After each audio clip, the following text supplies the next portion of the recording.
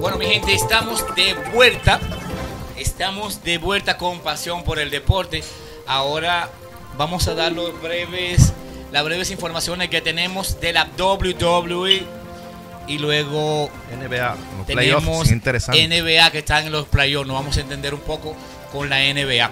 Saludo a Monción Barbershop, al nene que están en sintonía, Francisco González Kobe, que lo tenemos por ahí. Y tenemos a Jipeta, que no. Ah, sí, sí, sí. Lucy, tú sabes ya, Jipeta no te dio tu saludo, pero yo te lo doy por él, pero tú sabes que él está en sintonía siempre. Y más siguiéndote a ti, que tú eres su crush. Su crush. Monción que van para van para la caravana del PRM, cierre Ah. de campaña. Eh, activo, felicita- activo. ¿no? Felicidades y nos vemos pronto por ahí. Miki, ¿qué tenemos? Digo, dije Miki, coño, Miki. abusador. Vicky, ya tengo ya. Me traicionó el Señores, subconsciente. Sí, sí. Víctor, dime. Yo vi una aclaración, señores, que me dio risa. Ustedes saben quién es Randa Rose. Claro, Me claro. imagino, la luchadora que viene de. de- Un de- saludo para Holly Holmes Sí, desde aquí. que viene de la UFC y que es una privilegiada en la WWE, que no le vi ningún talento de que pase luchadora, pero Triple H ahí la, la puso a luchar y lo que fue privilegio desde que llegó. Señores, miren lo, miren lo atrevida que es Randa Rousey, porque la tipa se ha convertido en un- en una luchadora de, controversia. Oye lo que dijo Alan, que ella exigió los mismos privilegios que tenía Roman Rey, que tenían que dárselo a ella. Oye, oye, oye qué barbaridad. Roman Rey en su pico de, ya tú sabes, que Su pico más su alto. pico más alto. Y esta verduga exigiendo que deberían darle los mismos privilegios que a Roman Rey. Ya tú puedes saber si la tipa, una tipa que desde que llegó a la WWE, sin el mérito necesario, que había muchas luchadoras por encima de ella, Triple H, la lleva a ser campeona, sin tener ningún... Porque esa tipa, si tú te fijas en el ring, no sé si David quizá la vio luchando, no tenía nada que demostrar, no tenía llave. La tipa en el ring, lenta, tosca, solamente se le veía una sola llave del brazo, que te agarra el brazo, te lo tuerce. Solamente eso. Y Triple H con todo y eso, la ayudó y la llevó a ser campeona sin ningún mérito, habiendo luchadora por encima de ella.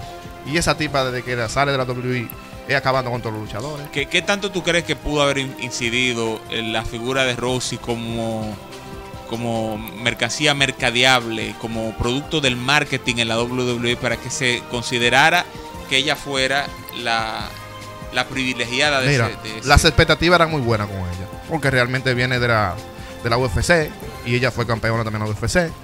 Pero en WWE no demostró nada, lamentablemente. Desde que llegó a WWE fue lo mismo, tratando de ayudarla, no corrigió algunos aspectos. Y mayormente la fanaticada se desencantó de ella, no veían nada en ella, no, ¿me entiendes? no había progreso, que es lo que le pasa a muchas luchadoras. En el caso de, de Charlotte Flair, que es una tremenda luchadora, para mí va a pasar a la historia como una de las mejores luchadoras, si no lo es, en la rama femenina. Recuerda el padre, quién era, que era Ric Flair. Ric Flair, claro. Dime. leyenda. Entonces, The Golden Boy. sí. entonces esta, esta hija de él, esa muchacha también tremenda, porque esa muchacha en el ring con el micrófono, que esta tampoco tiene micrófono, que lamentablemente le pasa lo que yo le ¿Qué dije a tanto Mickey. influye el micrófono? en- Muchísimo, muchísimo. Recuerda, por Un ejemplo, buen manejo de micrófono puede ejemplo. prolongarte un, un reinado. pero, pero mira lo que sucede. Te voy a poner el ejemplo. La Roca con el micrófono fue mucho mejor que lo que fue como luchador. Sí, ¿No sabía eso? sí, no. David más o menos Sí, sabe. claro, claro. Si tú te fijas a La Roca, La Roca no es que sea un tremendo luchador en el ring. Si tú lo ves, la lucha de él, no en comparación con Shawn Michael, que sí era un tremendo luchador en el ring. Igual que. Exactamente. No, es ya se lo llevan el verbo, tiene, tiene vaina. Sí, claro. Pero por ejemplo, lo que es Bret Hart y Shawn Michaels para mí, los mejores luchadores que yo he visto en el ring. Para mí. No sé qué Súmale, súmale ahí a Kurt Hennig. Sí, sí, Perfect, también. Perfect, el Perfect mismo también. Kurt Angle también.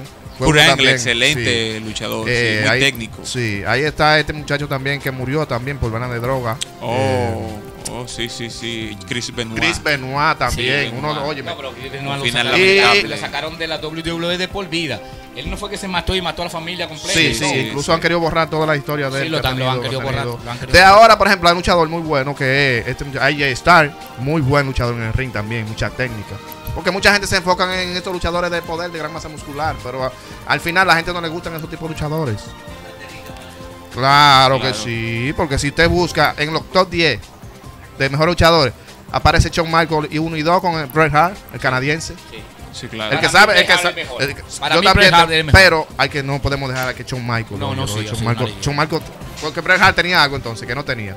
Que exactamente. Claro. Shawn Michaels dominó las dos facetas, luchística y con el micrófono. Sí, claro. Bret Hart no hablaba muy muy bien con el no, micrófono. Pero Ay, era la pero excelencia era- de la ejecución. pero, pero era excelente. Era eufórico, pero también en tenía, mucho, mu- tenía muchos enemigos dentro de la WWE. Prácticamente en la WWE nadie lo quería.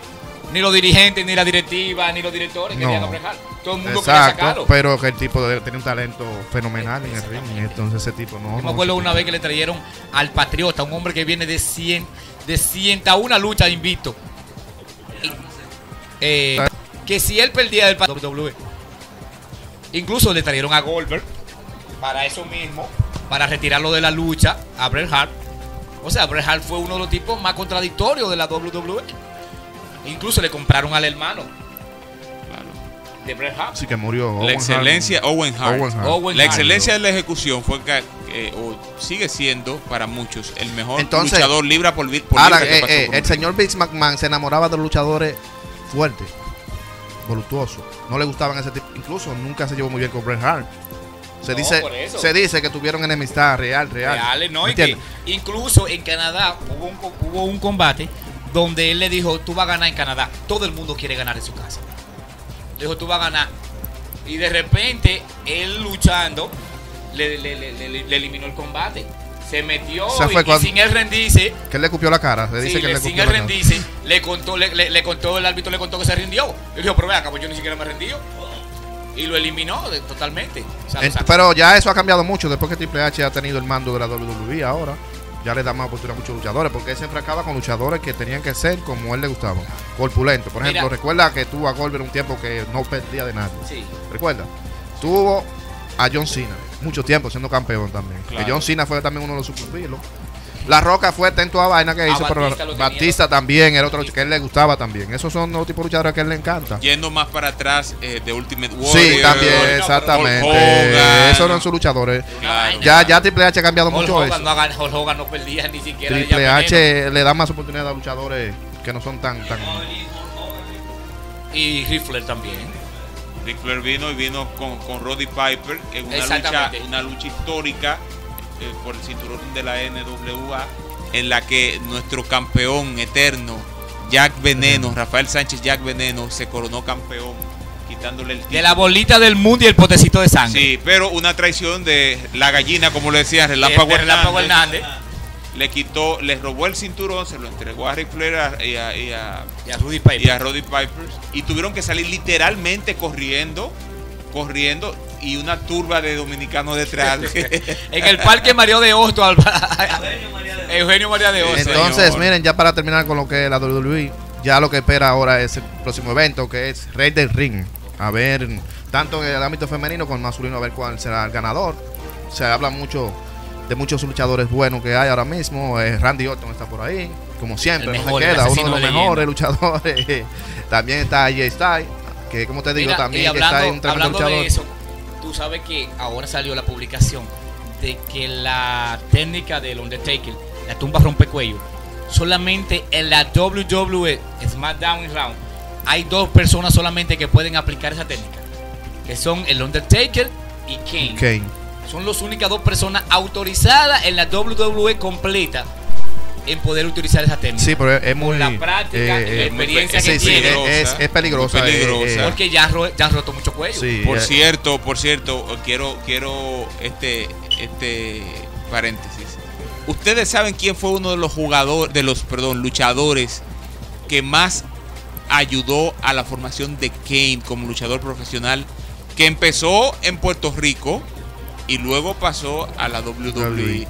¿Quién fue uno de sus principales mentores? El Bronco número uno dominicano. Wow. Dicho por él mismo. Sí, Ay, mamá, la tierra no te sabíamos ese dato. Sí, Sí. ay, Señor, y el mamá, uno la terminó tierra- haciendo carrera en Pu- Puerto Rico. Y Alan. es uno, bueno, cuando fuerte. Yankee, Se ve eh, gordo, pero está fuerte. cuando Daddy Yankee, eh, Bad Bunny, eh, Osuna, Don Omar lo ven o lo- se lo encuentran en un sitio público, en un aeropuerto, lo, lo abrazan y lo brincan. Es un ídolo, el, Sí. el Bronco allá en Puerto Rico. ¿Qué tenemos, Alan? NBA para los fiebruces. Bueno, vamos a comenzar, vamos a dar la introducción de cómo van los playoffs, cómo pasaron la primera ronda y quiénes están en la segunda. Tenemos que los Boston Celtics le Sí. ganaron 4 por 1 a los Miami Ahí Heat. está Simón contento que estaba llorando. pero- Bueno, mi gente, estamos con Indiana, que después que llegó Sal River, porque tengo que decirlo así, John River es la sal más grande que ha pasado como entrenador. Eh, le ganaron 4 por 2 a Milwaukee Bull. O sea que o sea que es un pequeño problema eso que tiene que tiene Sal River. Tenemos que los Knicks de Nueva York le ganaron 4 por 2 a Filadelfia y pasan a la segunda ronda de playoff para que vayan viendo cómo, cómo pasó esa, esa chelchita ahí. Tenemos también que Dallas Marbury 4 por 2 a los Clippers de Russell Westbrook y compañía por acciones. O sea que vayan viendo cómo están eh, los playoffs. O sea, ya Boston tiene que estar mejor preparado ahora mismo para lo que viene. Boston va a ganarle a Cleveland. Yo lo dije desde el principio. Simón, en el grupo que tenemos de WhatsApp, estaba llorando por ese juego que perdió, pero. Para la tranquilidad de Simón. Sí, Simón, eh, tu equipo va a pasar tranquilo. eh. A donde yo tengo mis dudas de que Minnesota, como mucha gente ya están dando a Denver que va a perder. Señores, Denver ajustó en este tercer partido. Si David y tú, Alan, vieron, vieron el juego, no se vio ya ese Denver de esos dos primeros juegos que lo tenían asfixiado. Lo tenía. La defensa de Minnesota, señores, no lo soltaba. Si vieron Murray, ahora pudo tener un buen juego, igual que Nicolás Jockey, que en el primer y el segundo partido, señores, no lo dejaban ni respirar. Así es, así es. Eh, dice, dice una frase muy conocida, muy socorrida en el mundo del baloncesto, que se le atribuye a, a Rudy Tonjanovich, Dios lo tenga en gloria, uno de los más grandes entrenadores, que dos veces campeón con, con los Houston Es igual el Rockets. entrenador que Dos River. No, ese- no, no se parecen.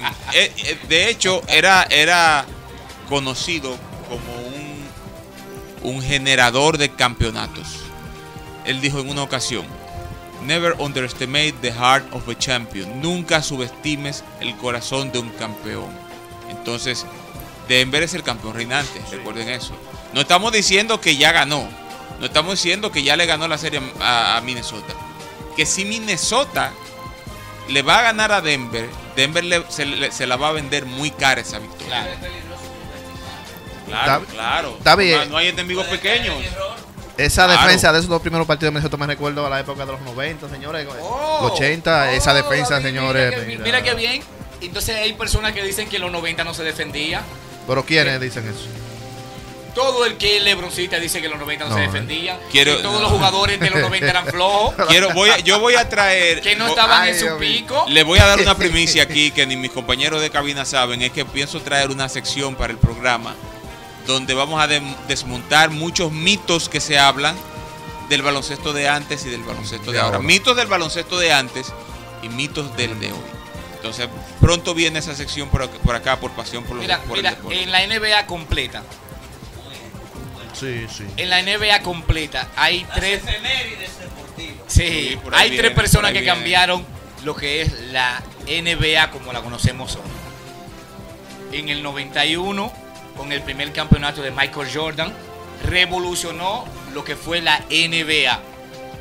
En el 2000, 2001, 2003, Alan Iverson con su dribleo revolucionó la NBA. Claro, incluso la moda. La moda. La moda, fue un sí, fenómeno. claro. O sea, le estoy diciendo tres personas. Y la última persona que revolucionó lo que fue la NBA no fue LeBron, no fue Kobe, no fue Durant. Stephen Curry Sí, con su claro. tiro de tres. Ahora, el 80% del juego son tiradores de tres. Todo el mundo quiere tirar de Mira, tres. Alan, déjate pasar el premio más valioso de Ah, Jokic bueno. También, no lo dejes pasar por Jokic, alto. Que eso. no fue, no se lo mereció este año.